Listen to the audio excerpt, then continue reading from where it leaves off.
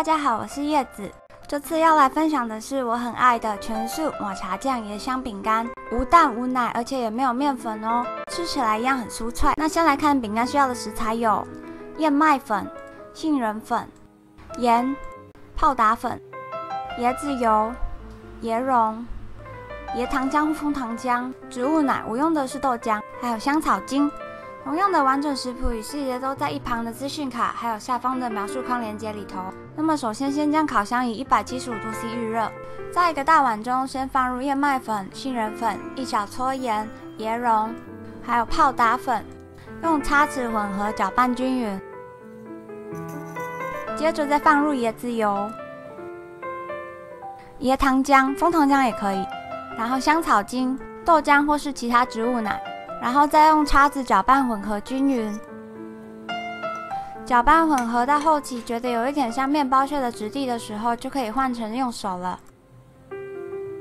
接着用手就用按压的方式把它捏成团，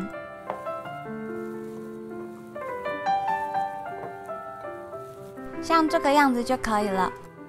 接着我们在桌上放一张大一点的烘焙纸。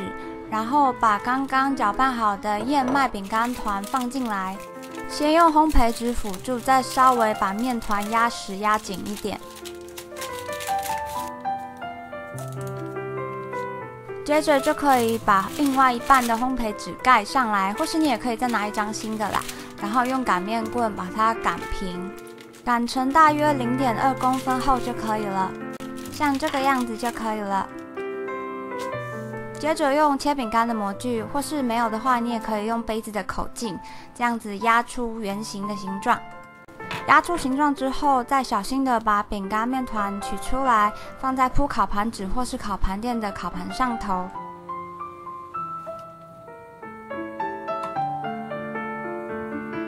剩下的饼干面团是可以重复使用的，再把它压实压紧。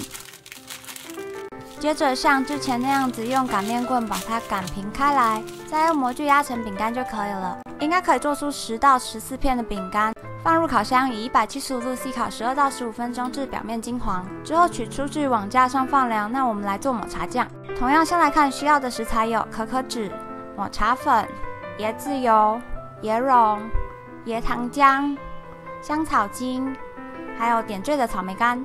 首先，先用研磨机或是调理机把椰蓉打到非常细致，稍微粗，然后再加入椰子油、椰糖浆、香草精，还有融化的可可脂，放入食物调理机或是处理机中搅打混合均匀。之后再倒入可以冷冻的容器中，放置冷冻五到十分钟，让它凝固。之后再加入抹茶粉，混合搅拌均匀，像这样的质地就差不多了。